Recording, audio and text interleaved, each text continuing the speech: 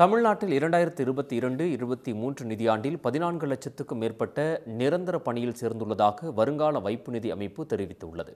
குறிப்பாக கல்லூரி படித்து முடித்த இளைஞர்கள் பலர் நிரந்தர பணியில் சேர்க்கப்பட்டுள்ளனர்.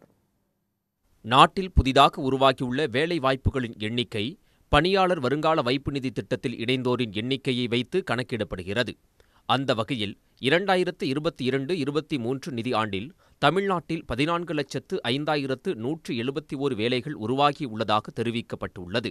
அதற்கு முந்தைய நிதியாண்டில் பனிரெண்டு லட்சத்து எண்பத்தி நான்காயிரத்து தொள்ளாயிரத்து எண்பத்து ஆறு வேலைகள் உருவான நிலையில் தற்போது இது ஒன்பது புள்ளி நான்கு சதவீதம் உயர்ந்துள்ளது. அதிகபட்சமாக பதினெட்டு முதல் இருபத்தோரு வயதுக்குள்ளான மூன்று லட்சத்து எழுபத்தி ஆறாயிரத்து எண்ணூற்று எழுபத்தி இரண்டு பேர் வேலையில் சேர்ந்துள்ளனர்.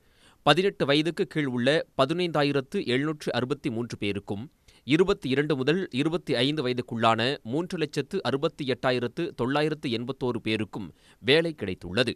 இருபத்தி ஆறு முதல் இருபத்தி எட்டு வயதுக்குள்ளான ஒரு லட்சத்து அறுபதாயிரத்திற்கும் மேற்பட்டோரும் பணியில் சேர்ந்துள்ளதாக தெரிவிக்கப்பட்டுள்ளது. இந்த அறிவிப்பின் மூலம் கல்லூரி படிப்பை முடித்த சில மாதங்களில் இளைஞர்கள் பலர் பிஎஃப் உள்ளிட்ட பலன்களுடன் கூடிய பணிகளில் சேர்ந்துள்ளது தெரிய வருகிறது. தேசிய அளவில் இதே காலகட்டத்தில் ஒரு கோடியே முப்பத்தி ஒன்பது லட்சம் பேர் பிஎஃப் திட்டத்தில் இணைக்கப்பட்டுள்ளனர். முந்தைய ஆண்டை விட இது பதிமூன்று புள்ளி இரண்டு இரண்டு சதவீதம் அதிகமாகும். உடனுக்குடன் செய்திகளை தெரிந்து கொள்ள சன் நியூஸ் பெல் கிளிக் பண்ணுங்க.